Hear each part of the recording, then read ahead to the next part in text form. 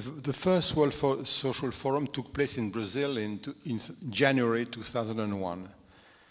And the decision to launch it was taken only a few months before. Uh, and this is how it happened.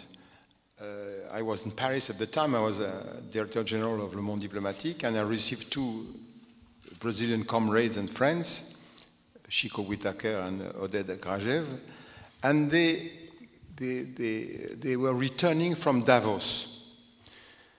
And they were shocked, of course, by Davos. And they said to me, uh, well, we should do something against Davos, organize a sort of counter Davos.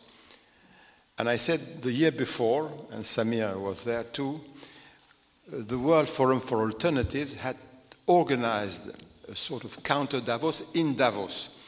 But uh, it's nearly impossible to, have an, to organize anything in, uh, in a, such a small city with uh, hundreds of uh, grandees of all sorts and the Swiss police. But we did it.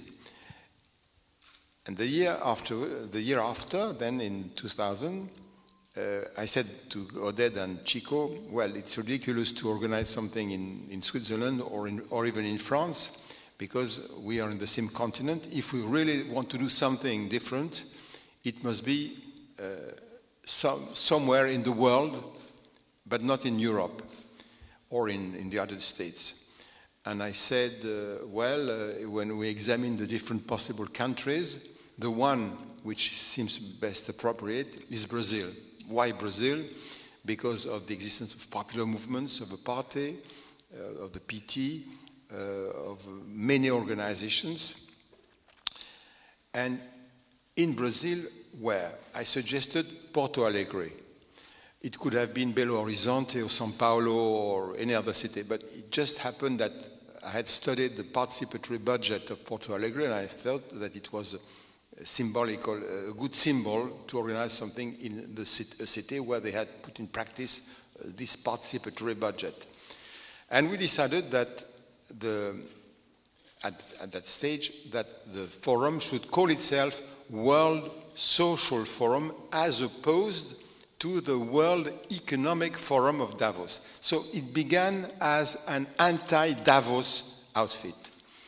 And then our Brazilian comrades organized themselves. I went to Brazil several times afterwards, and finally they did it. And it, it, was really uh, extraordinary because the decision taken in May for a, a World Social Forum uh, found its uh, outcome, its result, in January 2001. So at the beginning, it was an anti Davos.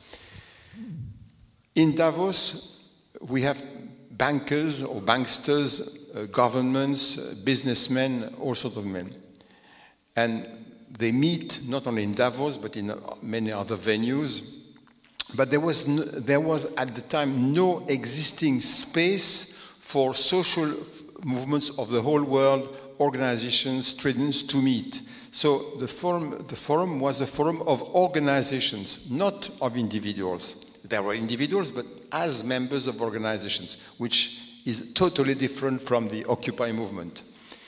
And uh, when you ask, you asked me about the, the, relationship with politics, so when we said it, would, it might be in Porto Alegre in January, of course, the, the, all the Brazilians who formed the organizing committee were members or close to the, the PT.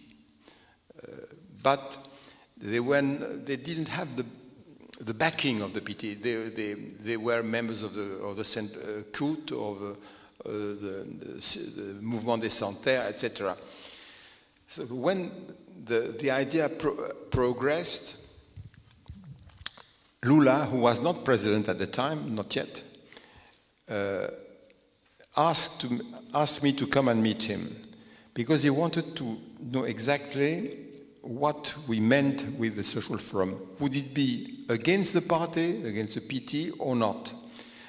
Uh, and I gave him the example of ATTAC, which was, at the time I was president of ATTAC, France. Uh, I explained to him how we functioned. Uh, that is a, a, social movement which makes proposals, which doesn't intend to replace parties, uh, which, is, which acts on a different sphere, in a different sphere. And he understood fairly well, and he, he, gave, he gave us the green light. We uh, were speaking with Eric. Had, if we hadn't had the green light of the of the of Lula PT, we could have organized it anyway. And if not in Porto Alegre, in some other city of, the, of Brazil, or perhaps in Mexico or another country. But it was better to have the PT with us, though they kept at a distance. They, they provided the city of Porto Alegre and the government of Rio Grande do Sul provided considerable uh, financial and logistical assistance. Uh, without them, it would have been much more difficult. But they did help, but they didn't try, uh, and that's uh, much to their credit, they didn't try to influence, to say we want this or that. No, they, they left us alone.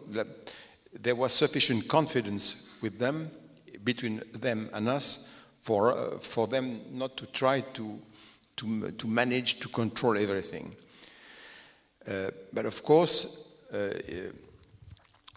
in, during the forum, uh, Lula uh, was invited in several round, not round tables because they were in, they was in, in an immense room.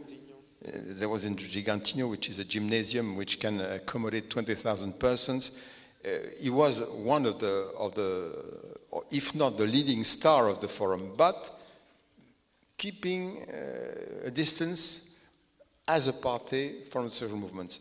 It was a bit complicated because uh, in the PT, not everyone, uh, uh, there were disagreements within them. Uh, some, some were closer to the leadership, others were less close, but we managed, and it started like that. And uh, uh, one phrase I often use is the following, referring to Aldo Moro's, the Italian prime minister who was assassinated by the Red Brigades when he said once uh, that between the Communist Party, the Italian Communist Party, and, the, and Christian democracy, there should be parallel convergences.